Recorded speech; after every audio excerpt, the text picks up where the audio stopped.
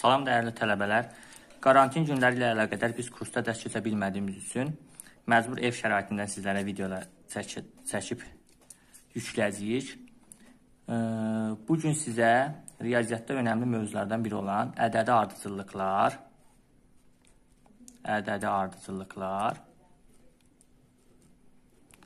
və silsilələr. Bu mövzunu izah edəcəm. Silsilələr. Birinci, ümumən görə ədədi ardıcılıqlar nədir? Baxaq, tutaq ki, aşağıda bir çoxluq verilmiş çoxluğa baxaq. 2, 4, 6, 8 və s. Bu çoxluqda hər bir həddi natural ədədlər çoxluğunda bir ədədlə ifadə edə bilərik. Məsələn, bu 2-ni 1-inə, 4-ü 2-inə, 6-nı 3-ünə, 8-i 4-ünə və s. işarə edə bilərik. Onda ədədi ardıcılıqlara biz belə tərif verə bilərik ki, natural ədədlər çoxluğunda təyin olunmuş funksiya ədədi ardıcılıq adlanır. Yəni, əgər hansısa bir funksiya natural ədədlər çoxluğunda təyin olunmuşdursa, biz bunu ədədi ardıcılıq adlandıracağıq. Bunlara ədədi ardıcılığın hədləri deyilir. Məsələn, 2, bunları A1, A2, A3 və s. ilə işarə edə bilərik. B-lərlə də ola bilər. Yəni B1, B2, B3 və s. bunlarla işarə edə bilərik. Yəni bunlara da ədədi ardıcılığın hədləri demiş olacağıq. Ədədi ardıcılığın verilmə üsulları vardır. Ədədi ardıcılığı iki üsulla verilir. Birinci üsul nədir? Hər hansı bir düsturla. Eninci həddini təyin edən bir düsturla. Yəni necə? Birinci bax düstur üsulu ilə.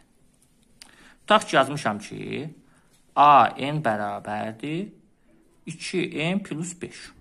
Bu düsturlar. Məsələn, burada biz birinci həddi tapmaq istəyirsə, n-ə 1 qoyacağıq. İkinci həddi tapmaq istəyirsə, n-ə 2 qoyacağıq. 10-cu həddi tapmaq istəyirsə, n-ə 10 qoymuş olacaq. Buna deyilir düstur üsul. Bir də var rekurrent münasibət. Rekurrent münasibət nədir? İkinci üsul. Bu, hər hansı, yəni birinci hədd verildikdə, A1 məsələn bərabər tutaq ki, 2 olduqda, A, n plus 1 bərabərdir. A, məsələn, 2 AN plus 7. Məsələn, bax, bu üsulla verə bilərik. Yəni, hər hansı bir həddini digər hədlərlə ifadə edə bilərik.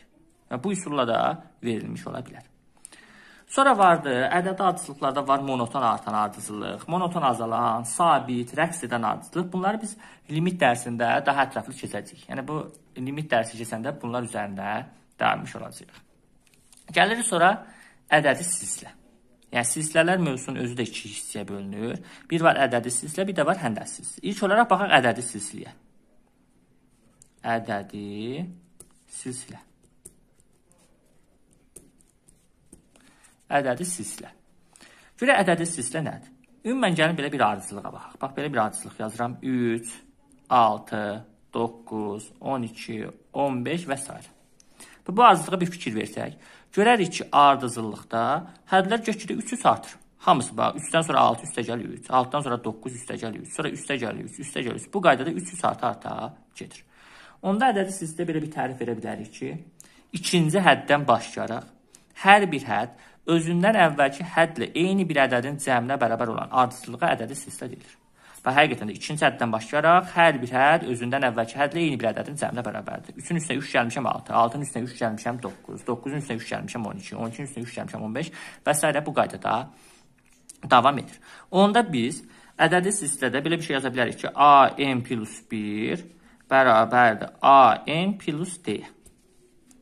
Belə bir ifadə yaza bilərik ki, hər sonraki hədd özündən əvvəlki hədlə eyni bir ədədin cəminə bərabərdir. Burada D-yə nə deyilir? D-yə deyilir burada D silsilə fərqi adlanır. Silsilə fərqi. Yəni D-ni tapmaq üçün istənilən bir həddən özündən əvvəlki hədlə çıxsaq, D almış olacaq. Yəni D bərabərdir AN plus 1 minus AN. Biz onda ədədi silsilənin istənilən bir n həddini tapmaq üçün görək düstur tapa bilərikmi? Onda ədədi silsilənin istənilən bir n həddinin düsturu AN bərabərdir A1 plus M minus 1 vurulsun D. Bu düsturla hesablanır. Ədədi silsilənin istənilən n həddini tapmaq üçün AN bərabərdir A1 plus N minus 1 vurulsun D düsturundan istifadə olunur. Burada A1 birinci həddir, D silsilə fərqi, N-dəki neçənci hədd soruşsa, yəni N-i də onunla ifadə edəcəyik. Sonra var ədədi silsilənin xassələri. Görə ədədi silsilənin hansı xassələri vardır? Birinci hansı xassəsi var? Məsələn, belə bir xassəsi var ki, ədədi silsilədə. Və bunları hədlər, ədədi silsilənin hədləri ilə işarə eləsək, tutaq ki, yazdığım A1, buna A2 yazsam, buna A3, buna A4, buna A5 yazsam, ədədi silsilədə belə bir xassə var ki, indekslərin cəmi bərabər olan hədlərin öz cəmləri də bərabərdir. Tutaq ki, hansısa bir ədədi silsilədə m plus m bərabərdirsə k plus d-yə, onda elə AN plus AM də bərabərdir AK plus AD. Həqiqətən də gəlin bax yuxarıdakı misala baxaq. İndekslərin cəmi. Və görürsüz 2 ilə 3-ün cəmi 5 eləyir. 1 ilə 4-ün də cəmi 5 eləyir. Onda A2 ilə A3-ün cəmi A1 ilə A4-ün cəmi olmalı. Görə həqiqətən də olur, olmur. 6 ilə 9-u toplayanda 15, 3 ilə 12-ni də toplayanda 15. Və ödəmiş oldu. Demək, indekslərin cəmi bərabər hədlərin öz cəmləri də bərabər. Sonra başqa hansı xassə var? Sonlu ədədi silsilədə uclardan eyni uzaqlıqda duran hədlərin cəmi kənar hədlərin cəmi ilə bərabərdir. Yəni necə? AK üstə gəlinsin. AN minus K plus 1. Bu elə bərabər olacaq. A1 üstə gəlinsin. AN. Yəni, ə, uclardan eyni uzaqlıqda duran hədlərin cəmi ilə kənar hədlərin cəminə də bərabər. Bu xassəsə, xassədə doğrudur. Sonra vardır belə bir başqa bir xassə. Ədədi silsilədə istənilən bir hədd özündən eyni uzaqlıqda duran hədlərin ədədi ortasına bərabərdir. Yəni istənilən bir hədd özündən eyni uzaqlıqda duran hədlərin ədədi ortasına bərabərdir. Bu xassədə doğrudur. Məsələn, bax elə buradakı bax burada yazdığım elə yuxarıda yazmışam. Məsələn, A3-dən eyni uzaqlıqda duran hədlər hansılardır? A3-dən eyni uzaqlıqda duran. A1 ilə A5-dir. Onda mən dedim ki, A3 bərabərdir. Məsələn, A1 plus A5 bölünsün 2. Yəni, ədədi silsilədə istənilən bir hədd özündən eyni uzaqlıqda duran hədlərin ədədi ortasına da bərabərdir. Həqiqətən də istəyirsə elə bax burada baxsaz da A3 9 bərabərdir. 3 ilə 15 toplayanda 18, 2-yə böləndə 9-a bərabərlik ödənmiş oldu. Bu xassədən də istifadə edilir.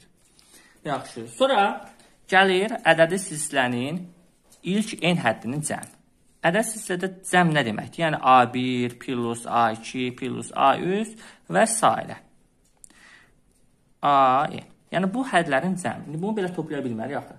Bəs görə bu ilk n həddinin cəmi üçün nəsə bir düstur varmı? Ədədi silsilənin ilk n həddinin cəminin düsturu SN bərabərdir A1 plus AN bölünsün 2 vurulsun n düsturu ilə hesablanır. Yəni ilk n həddinin cəminin düsturu budur. Biz yuxarıda demişdik ki, AN bərabərdir A1 plus n minus 1 vurulsun dedi. Gətirib bunu lap burada yerinə yazsaq, başqa bir düstur SN bərabərdir A1 plus AN-in əvəzinə yazıram A1 plus n minus 1 vur D böl 2 vur n. Bunu biraz sadələşdirsək olur. 2A1 plus M minus 1D bölünsün 2 vurulsun N olmuş olacaq. Və yaxud da ki, bu düsturla da hesablaya bilərik. Buna da deyilir ədədi silsilənin ilk N həddinin cəminin düsturu. Bir də nə maraqlıdır burada? Məsələn, tutaq ki, bizdə hər hansı bir A, K həddini tapmaq üçün bunu bu düsturlarda tapa bilərik. Bax, misallarda daha çox istifadə olunan bir üsuldur. Bu bərabərdir. SK çıxılsın SK minus 1. Yəni AK-nın düsturu bərabərdir. SK çıxılsın SK minus 1 düsturla hesablanır. SK K-nıncı həddinin cəmidir. SK minus 1 isə K minus 1 həddin cəmi olmuş olacaqdır. Bu da bizim ədədi sistemimiz. Ədədi silsilədən sonra gəlir həndəsi silsilə. Görə həndəsi silsilə nədir? Həndəsi silsilə. Və buradan qeyd edirəm. Həndəsi silsilə.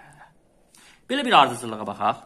Və belə bir ardıcılıq yazıram. 3, 6, 12, 24, 48, 96 və s.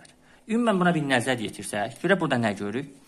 Bax 3, 6, 12, 24, 48, 96 fikir versək, burada hamısını 2-yə vura-vura artırmışıq. Bax 3-ü vurmuşam 2 6, 6-nı 2-yə vurmuşam 12, 12-ni 2-yə vurmuşam 24 və s. bu qaydada davam eləmişik.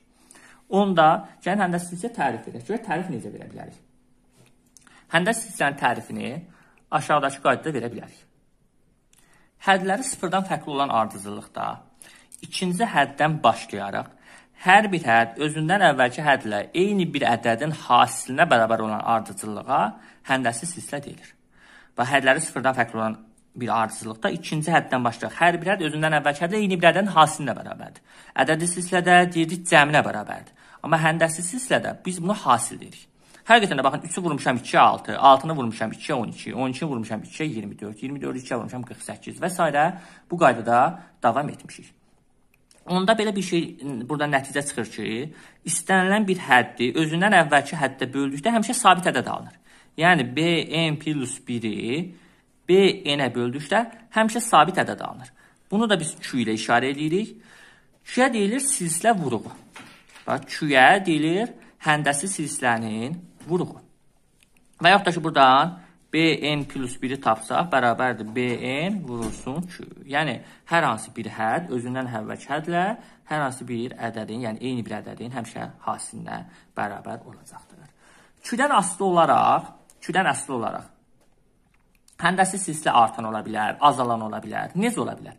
Əgər tutaq ki, bizim Q-ümüz böyükdür birdən, B1-imiz də böyükdür 0 olarsa, o zaman deyilir bu silsilə artandır. Və bu həndə silsilə artandır. Q böyükdür 1, B1 kiçikdir 0 olarsa, onda deyilir ki, bu artan idi. Bu olacaq azalan. Nə bilim, sonra 0, Q 0-la 1 aralığında olub, B1 böyükdür 0 olarsa, o zaman deyilir ki, yenə bu azalandır. Sonra Q bərabərdir 1 olduqda sabit və yaxud da ki, stasionar deyilir. Q kiçikdir 0 olduqda isə nə artan, nə də azalan həndəsi silsilə adlanır. Biz həndəsi silsilənin də hər hansı bir n həddi üçün görək düstur tapa bilirikmi? Həndəsi silsilənin n həddinin düsturu B n bərabərdir B1 vurulsun Q üstü E minus 1 düsturu hesablanır. Bax, buradakı bu hədlər var idi. B3-dür. Bunu B1 ilə, bunu B2 ilə, bunu B3 ilə, bunu B4, B5, B6 və s. işarə edə bilərsiniz. Yəni, hər hansı bir n-in həddini düsturu B-n bərabərdir. B1 vurulsun, 2 üstü n minus 1 düsturu hesablanır. Məsələn, B5-i tapmaq istəyiriksə, n əvəzinə 5 qoyacaq, olacaq B5 bərabərdir. B1 vurulsun, 2 üstü 5 çıxsın 1, yəni 2 üstü 4 olmuş olacaqdır. Həndəsi silsilənin də xassələri vardır. Görə həndəsi silsilərin hansı xassələri vardır? Həndəsi silsilərin xassələrindən biri odur ki, indekslərinin cəmi bərabər olan hədlərin hasilləri bərabərdir. Və ədədi silsilədə indekslərin cəmi bərabər olan hədlərin cəmi bərabərdir. Həm də silsilədə indekslərin cəmi bərabər olan hədlərin hasilləri bərabərdir. Yəni tutaq ki, n plus m bərabərdir k plus nə bilim d olarsa, onda belə yaza bilərəm ki, bn vurulsun bm bərabərdir BK vurulsun BD yazmaq olar. Həqiqətən də baxın burada yuxarıda yazdığım nümunədə indekslərin cəmi bərabər olması, məsələn 2 ilə 3-ün cəmi 5 eləyir, 1 ilə 4-ün də cəmi 5 eləyir. Onda dedim bunların hasilləri bərabər olacaq. Yəni 6-nı vuranda 12-yə, 6-nı 12-yə vuranda 72, 3-ü 24-ə də vuranda 72 eləyir. Bərabər oldu həqiqətən. Sonra həndəsizdə də istənilən bir hədd özündən eyni uzaqlıqda duran hədlərin özündən eyni uzaqlıqda duran hədlərin həndəsi ortasına bərabərdir. Yəni istənilən bir hədd hər hansı B n həddi bərabərdir. Kök altında bn minus 1 vurulsun bn plus 1. Yəni istənilən bir hədd özündən eyni uzaqlıqda duran hədlərin həndəsi ortasına bərabərdir. Həqiqətən də elə burada yenə də bu misala baxsaq, məsələn B3 B3-dən eyni uzaqlıqda duran B2 ilə B4 vardır. Ya B1 ilə B5 vardır. Bunun həndəsi ortasına bərabərdir. Yəni B3 bərabərdir kök altında B2 vurulsun B4-ə. 12 bərabərdir kök altında 6 vurulsun 24-ə. 6-nı 24-ə vuranda 144, 144-dən də kök 12 çıxmış olur. Bu da həndəsi sistənin xassələrindən biridir. Sonra Həndəsi silsilənin də ilk n həddinin cəmi düsturuna ki, həndəsi silsilənin ilk n həddinin cəmi düsturu nədir? Yəni B1 plus B2 plus B3 və s. B.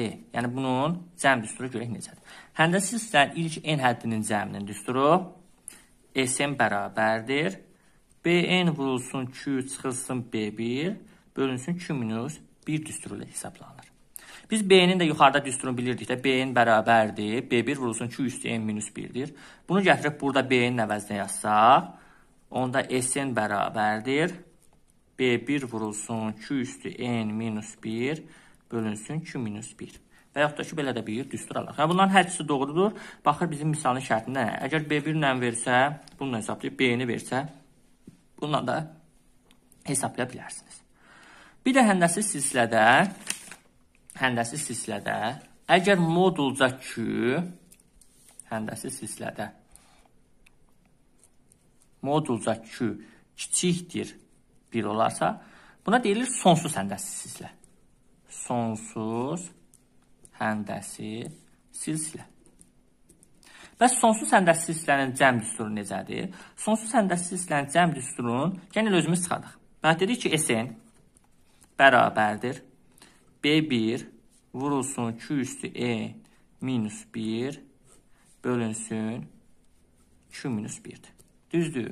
Onda sonsuz səndəsizlikdən cəm düsturunu çıxarmaq üçün limit n yaxınlaşır sonsuzluğa olacaq Sn. Gətirib yerinə yazsam, olacaq limit n yaxınlaşır sonsuzluğa B1 Q üstü n minus 1 bölünsün Q minus 1-ə. Bu da bərabərdir. Limit n yaxınlaşır sonsuzluğa. Bu ifadəni açsaq, B1 Q üstü n minus B1 bölünsün Q minus 1. Bu bərabərdir. İndi bizim Q-ümüz e, birdən kiçikdir. Birdən kiçik olduğu üçün üstündə sonsuzluq olanda, kəsr ədədin üstü sonsuzluq olanda bu bilirik ki, yaxınlaşır sıfıra. Onda olur mənfi B1, o getdi sıfıra, bölünsün Q minus 1. Bu da bərabərdir. Bərabərdir. Bu mənfini aşağı versəm, B1 bölünsün 1 minus Q olmuş olacaq. Deməli, sonsuz həndəsi hissənin cəm düsturu da B1 bölünsün 1 minus Q düsturu ilə hesablanır. Bu da bizim ədədi ardıcılıqlar və silsilə mövzusunun izahı. Sağ olun.